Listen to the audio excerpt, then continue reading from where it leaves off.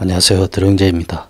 오늘은 인체 드로잉 책을 소개해 드리겠습니다. 인체 드로잉 잘 하는 방법 5가지에 대해서도 알아보겠습니다. 오늘 소개해 드릴 책은 퀵 드로잉이라는 책입니다. 작가는 다테나카 준페이입니다. 디즈니 애니메이션 재팬에서 애니메이터로 근무한 베테랑 애니메이터라고 합니다. 출판사는 한빛라이프입니다. 퀵 드로잉, 크로키처럼 움직임이 있는 역동적인 인체 드로잉을 하는데 도움이 되는 책입니다. 저처럼 순수 미술을 하는 사람뿐만 아니라 일러스트 애니메이션 같은 인체 드로잉이 필요한 다양한 분야의 그림을 그리시는 분들이 활용하기 좋은 책입니다. 초보자분들이나 독학을 하시는 구독자님들께 도움이 될 것 같은 내용이라서 소개해드리게 됐습니다.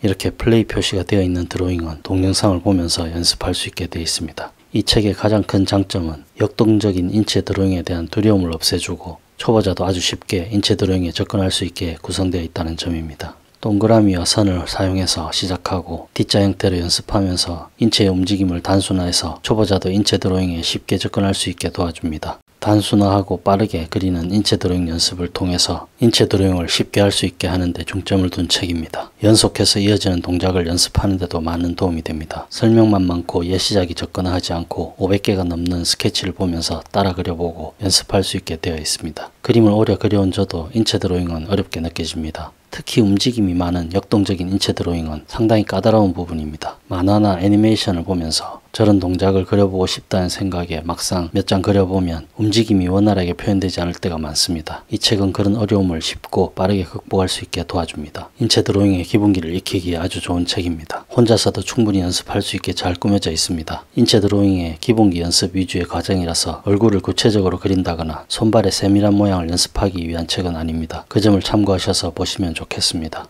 책 내용을 간단하게 알아보겠습니다. 전신을 간단하게 그리는 연습부터 시작합니다. 머리하고 몸통, 골반은 타원으로, 발다리는 선으로 표현합니다. 인체를 타원과 직선으로 단순화해서 그리는 단계입니다. 처음에는 간략하게 그리는 데 집중합니다. 그런 다음에 구체적인 동작을 표현합니다. 이런 졸라맨 같은 인간을 그리려고 한 게 아닌데 싶어서 맥 빠질 수도 있습니다. 그렇지만 단순화해서 그린 그림을 천천히 보면 대상이 무엇을 하고 있는지 어떤 동작을 하고 있는지 바로 전달이 됩니다. 일단 처음에는 이 정도로 간략하게 전신을 그리는 연습부터 시작하는 겁니다. 전신을 타원과 선을 사용해서 15개 부위로 심플하게 나눠서 동작을 관찰하는 데 익숙해지는 과정입니다. 기본은 골격 구조에 따라 인체를 대강 구분하는 겁니다. 머리, 몸통, 골반은 타원 3개로 표현하고 팔, 허벅지, 종아리, 손발은 12개의 선으로 그리는 겁니다.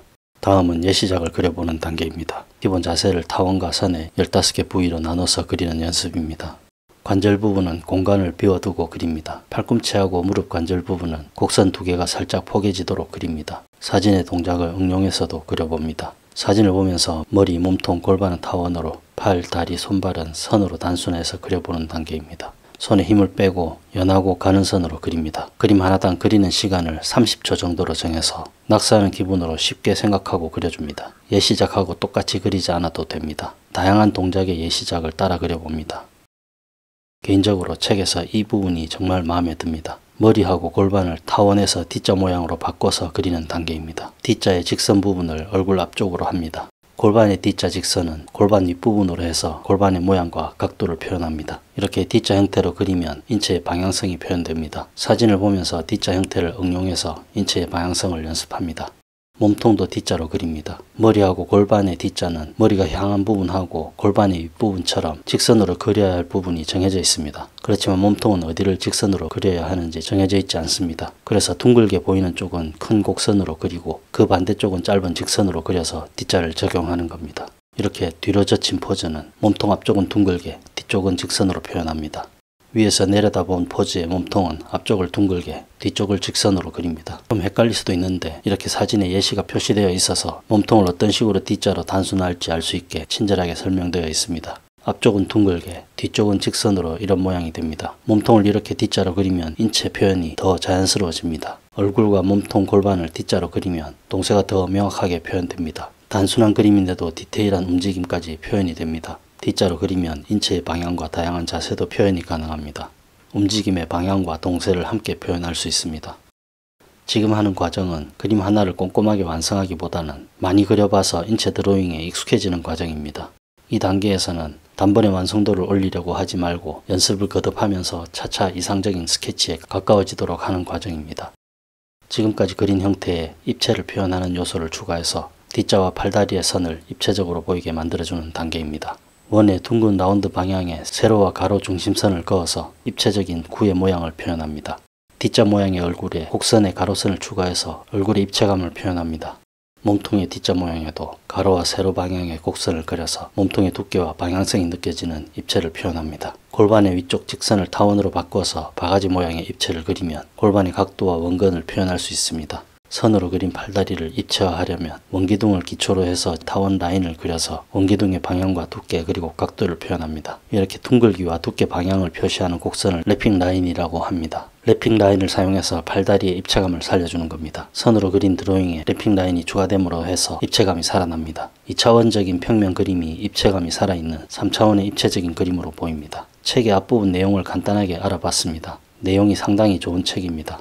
상세한 설명과 함께 많은 양의 예시작을 수록해서 초보자도 쉽게 인체 드로잉에 접근할 수 있게 도와주는 책입니다. 칭찬만 하면 그러니까 이 책을 보면서 약간 아쉬웠던 점을 얘기하자면 책에 소개된 기법을 활용해서 그린 퀄리티 높은 완성작 그림도 좀 많이 실려 있었으면 좋았을 것 같다는 아쉬움이 있습니다. 그래서 오늘 영상에서 책에 실린 방법으로 기본 스케치를 한 다음에 좀 더 구체적으로 완성을 하는 과정을 영상으로 만들어 봤습니다. 잘했죠?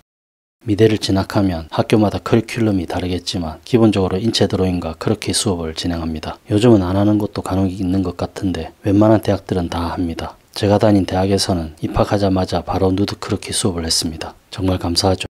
미대에서 첫 전공 수업으로 누드 크로키를 할 정도로 인체 드로잉은 그림에서 중요한 요소입니다. 그림 관련 거의 모든 분야에서 인체 드로잉은 꼭 필요합니다. 인체 드로잉을 잘하게 되면 웬만한 드로잉은 아주 쉽게 느껴집니다. 인체 드로잉을 잘하기 위해서 꼭 알아야 할 다섯 가지에 대해서 알아보겠습니다. 영상 보시면서 궁금한 점이나 의견 있으시면 댓글로 남겨주세요. 첫 번째, 비율입니다. 인체 드로잉에서 비율이 가장 중요합니다. 다른 거 다 틀려도 비율만 정확하면 잘 그려 보입니다. 비율을 얼마나 잘 맞춰서 그렸는가에 따라 인체 드로잉의 퀄리티가 달라집니다. 아무리 묘사를 잘해도 비율이 맞지 않으면 이상한 그림이 됩니다. 비율을 잘 잡는 방법은 의외로 간단합니다. 대가리 크기, 머리 크기를 기준으로 전체 비율을 맞추면 됩니다. 연예인들 얼굴로 비율을 나눠서 7등신, 8등신 했었죠. 우리는 6등신, 그림도 마찬가지입니다. 머리 크기로 전신 비율을 맞추면 됩니다. 손과 발의 크기도 머리 크기를 기준으로 맞추면 그리기가 쉬워집니다. 머리 크기와 인체 비율을 적당하게 잘 맞춰주면 이상적인 인체 형태가 됩니다. 크로키나 퀵드로잉처럼 빠르게 인체를 그릴 때는 짧은 기간에 대가리 등신을 일일이 나누고 있을 시간이 없습니다. 빠른 드로잉을 할 때는 눈을 빠르게 움직여서 인체 전체를 보면서 대략적인 머리 크기와 몸의 비율을 맞추는 연습을 꾸준하게 합니다. 그렇게 눈 훈련을 병행하면서 인체를 그려주면 정확한 인체 비율을 맞추는 실력이 좋아집니다.